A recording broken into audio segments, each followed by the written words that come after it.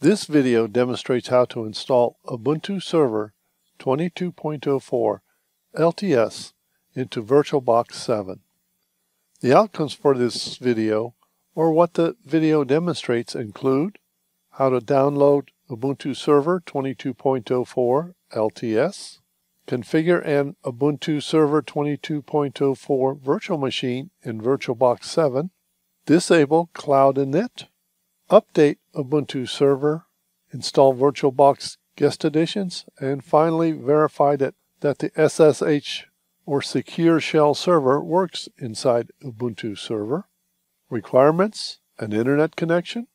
Ubuntu Server minimum requirements for your virtual machine include 1 gigabyte of RAM, a CPU of at least 2 gigahertz, storage of 2.5 gigabytes, the barest minimum, and in this video I'm going to use a 25 gigabyte storage, a local area network or a LAN access, virtualization enabled on the host computer with VirtualBox 7 installed, and an additional computer on the same network with SSH enabled.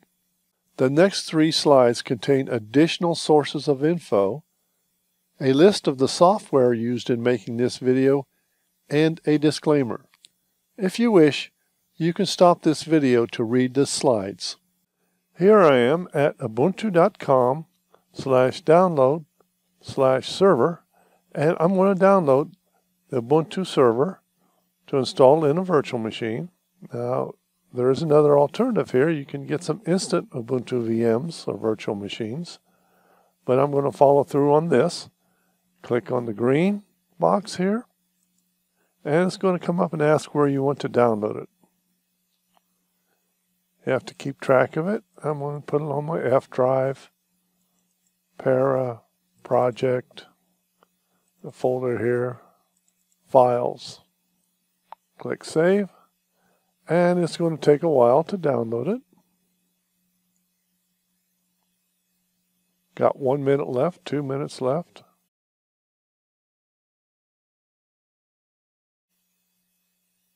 Now it says zero seconds left. Okay, so now it's fully downloaded. Here I am in VirtualBox Manager, and I'm going to configure a virtual machine or VM to install Ubuntu 22.04 server in. First go up here to the top and click on the many pointed star. The first step is to give the VM a virtual machine name and operating system or OS. For the name, I will call it Basebuntu 2204 SRVR. Now I've done some practice runs creating this server and have a folder already set up for it. But you can choose where you want your VM stored by clicking on the down caret and selecting Other. Next is the ISO image that you downloaded. You will have to tell VirtualBox where it is in your file system. Here are choices listed because I have previously installed a server ISO file and had some practice with it before I made the video. You'll notice that VirtualBox uses the name of the ISO file to automatically set the type to Linux and the version to Ubuntu 64-bit. Click in the Skip Unattended Installation box because we are going to make additional choices for this server. At the bottom it says you have Select it to skip unattended guest OS install. The guest OS will be installed manually. Finally, click Next. In hardware, I'm leaving the amount of RAM or random access memory at 2 gigabytes or 2048 megabytes. I'm also leaving the number of processors at 1, though you might want to give your server an extra processor if you have it available. For Ubuntu, leave the Enable EFI box unchecked and then click on Next. For virtual hard disk, leave it at the default unless you know that you want to install additional software or maybe install less software. If you click on the pre-allocate full size, the VM will grab the full 25 gigabyte of storage from your host computer right now instead of expanding your VM storage as it's needed. Click Next. If everything looks good to you, click Finish. Now one setting that needs to be changed is the network setting. It needs to be changed from NAT to bridge connector. Since this VM is a server, you will probably want other machines to connect to this server. Setting the network adapter to bridge connector allows other machines on your local network to access the Ubuntu server. Finally, click OK. Here I am in VirtualBox 7 and here's my virtual machine that I've configured or created. So the next step is to basically install the ISO file. Right click, start, normal start. And I'm going to have to move this around a little bit. It says try or install Ubuntu Server and Ubuntu Server with the HWE kernel. You got two choices here, or actually three, test memory. And so basically, an HWE kernel is used only on Ubuntu LTS releases. It's simply a newer generic kernel that is used in an interim release of Ubuntu. Well, I didn't make a choice there, and I kind of accepted the basic one. But, for example, the current HW kernel for Ubuntu 22.04 may be the one for 22.10 but I did not want to install the HWE kernel anyway. I'm going to keep this as simple as possible. So now we've got some choices. You pick your language. I'm going to accept the default of English. Your mouse is not going to work in here. Hit enter for English, but you can use the arrow keys to go up and down. And the layout, I'm going to accept English US for the keyboard and I'm going to go click on the done. So I've got the base for the installation. I've got Ubuntu server, Ubuntu server minimized, or additional option. So I'm going to accept Ubuntu server and not go down to choose the minimize server or third-party drivers. Simply hit enter it's going to ask you to configure at least one interface this server can use to talk to other machines. I'm just going to accept the default. Now you notice it's got an IP address of 192.168.1.23. So that will probably be the machine's IP address. I'm not 100% sure on that because I don't give it a static IP address. We'll check it out before we do SSH to this server. Click Done. Proxy address. There's no proxy for this server. Click Enter. No alternative mirror. I'm just going to go to ubuntu.com, Ubuntu, the US archive. Click Done. It says Configure a guided storage layout or create a custom one. You'll notice it has an X where it asks you to set this disk as an LVM group. I'm going to uncheck that use the arrow keys to go down here, hit the space bar to uncheck it. And basically, an LVM or logical volume manager is a way of handling multiple disks and volumes under one management unit. It's more complex, but makes it easier to manage disks when you're using more than one disk. Since this machine has been configured to use only one disk originally, it'd be much easier to uncheck the LVM box, which I've done. Keep going down, with the arrow key and hit done. It says it's going to install 24.997 gigabytes. I'm going to say done and let's go. Got a uh, lookout box where it says confirm destructive action. Basically make sure there's nothing on your uh, disk that you've created from VirtualBox. So I'm going to click continue. Ask for your name, hit enter your server's name, base Ubuntu 2204 SRVR. Hit enter. I want to use my username is the same as my name. Password. Make sure you type in same one. And then hit enter again and then click done. Now it says upgrade this machine to Ubuntu Pro for security updates on a much wider range of packages until 2032. I'm going to leave it in skip for now. What Ubuntu Pro is, it's a version designed for public clouds with a focus on production enterprise use. It's got some additional components out of the box, but I'm going to stick to the basic Ubuntu server version. Click continue, and I'm going to use the spacebar to install OpenSSH server. That way I can connect to this server from another machine.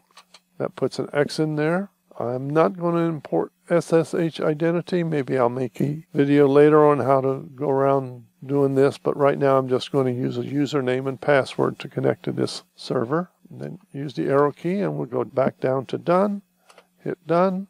And then it asks there are popular snaps in the server environments. Select or deselect with space. And I'm not going to pick any of these for this virtual server. I'll go all the way down and click done. And now it's working to install everything. And I'll come back when it's uh, got everything installed. So now the install is complete. I'm going to use the arrow key to click on reboot now. It says failed unmounting CD-ROM. All you have to do here is click enter and it'll continue. Okay, so now you're ready to log in. So you'll see it says finish execute cloud user final scripts and reach target cloud init target on the bottom and this kind of put a lot of stuff on the screen so I'm going to disable cloud init and then update the server in the next section of this video. So my screen is a little different than the first start because overnight Windows decided to do an update and that automatically turned off VirtualBox. So this is actually the second time I've logged in. But on the second restart of Ubuntu server, your login screen might look like this. And you'll see it's got some extra information there. And both views are due to the Cloud Init script. Cloud Init is an open source tool developed by Canonical that provisions or sets up virtual machines that run in a cloud environment. It is also used for initializing the server on a first boot. In this Ubuntu server, I will disable Cloud Init instead of removing it completely, though you can remove it completely if you wish. So let's first log in, hit enter. May have to hit it twice. Make sure you have focus on the virtual machine. And so now I'm logged in. And so to disable it, I would use sudo touch etc cloud cloud dash init dot disabled. And this creates a file called cloud init disabled and it's an empty file. Of course, you have to enter your password. And if you want to take a look at it, you would simply hit the up arrow and I would just do a cat on the file. So there's nothing in that file. What I want to do now is update the server because I want to have all the latest updates and upgrades in it.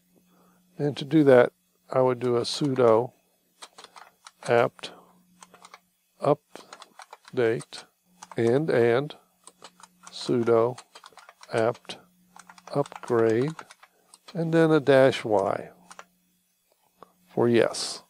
So I won't have to enter a yes as it does the update and upgrade. And so it asks what services should be restarted. I'm simply going to go down where it says OK and take the default. Click OK.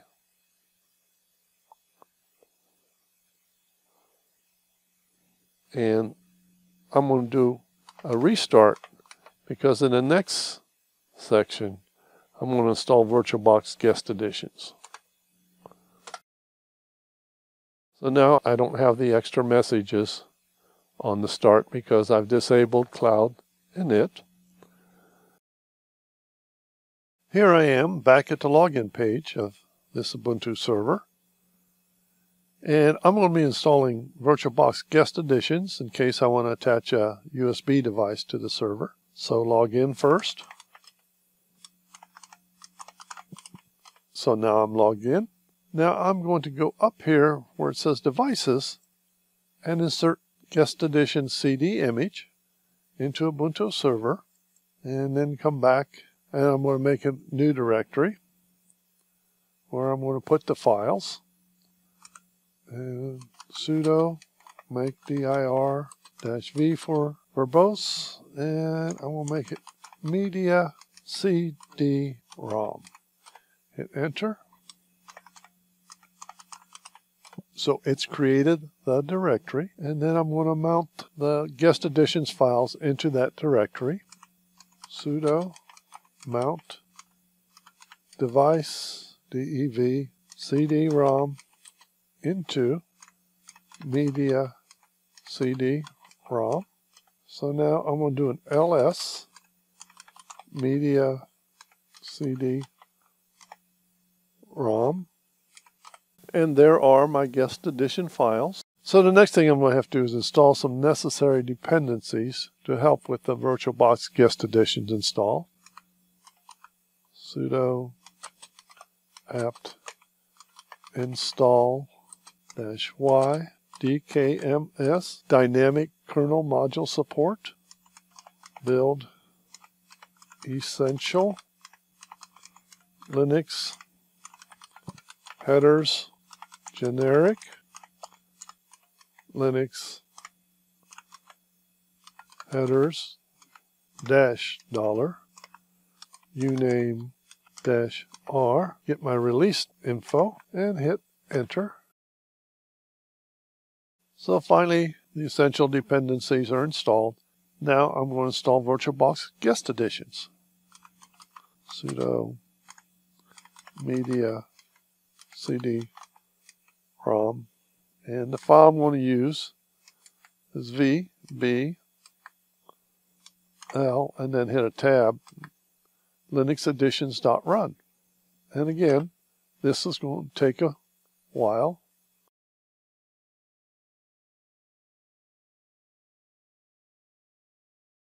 So uh, after a few minutes, it's completed. It says VirtualBox guest additions running kernel modules will not be replaced until the system is restarted. Don't worry if you see that just hanging up there for about a minute or so, because I guess that's the way it's installed.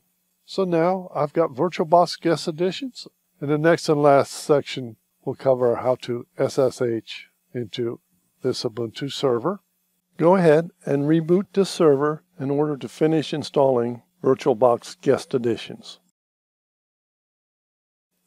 If you recall, when we installed Ubuntu Server, we also checked the box to install SSH or Secure Shell. This section of the video verifies that the SSH server is working in Ubuntu. Keep in mind that for SSH to work, both machines must be on the same local network or LAN. When working with VirtualBox virtual machines, the most common way to manage this is to ensure both machines have their network adapter set to bridged adapter. So in order to use the SSH server, is necessary to know the IP address of the server. So basically, I'm going to go log in and find out the IP address of this server. Password. And to find the IP address, I use IP space A. There it is. INET 192.168.1.23. Now let's switch to a Win 11 or a Win 10 machine to make sure it has the SSH client enabled. And I'm going to go through the steps and make sure it's enabled. Go to Start, Settings, apps, optional features, open SSH client, and it says uninstall here. So now if you do this on a Windows 10, the graphics are going to be a little bit different, but all the steps are the same. So it's enabled. So now I'm going to close this, open up PowerShell, PowerShell, Now I'm going to connect to the Ubuntu server, and it would be SSH, username is Mike, and at 192.168.1.23 was the IP address of the server. Hit enter. It says the authenticity of host can't be established. Well, it was just checked previously. So it asks, are you sure you want to continue connecting? And I have to type in YES for yes. And warning, permanently added 192.168.1.23 to the list of known hosts. I also ask for my password. I've connected to the server and it says Mike at Basebuntu 2204 server. And let me just run a little Python program because I know this Windows machine doesn't have Python installed. String equal Ubuntu server 2204. And then I'm just going to do a print f string. Hello. String closing. Closing quotation marks. Closing parentheses and it says hello Ubuntu server 22.04 and I'm going to log out of the server using the logout command if you notice right here, it says PSC. I'm back in PowerShell instead of at the server. So that's it for installing Ubuntu 22.04 server, updating it, installing VirtualBox guest additions, and verifying SSH. If you don't like the small screen on the Ubuntu server, check out the Change Display Resolution in Ubuntu 22.04 server video on this channel. Thank you for watching this. If you have any questions on this video, please ask them in the comments below. Also, if there is a video you would like to see made, please let me know. While I can't promise anything, I will try and look into it. Cheers.